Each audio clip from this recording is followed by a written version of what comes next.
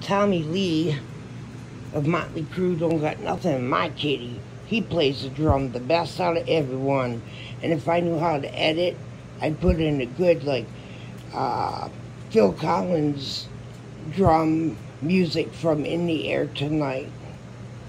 Because my kitty plays the drums the best on my pillow because he's a cat. That means they're content. He's a good boy. Hope y'all like my Jack videos, and you know I'm gonna get some baseball videos coming out too. So, um, subscribe to my channel, you guys.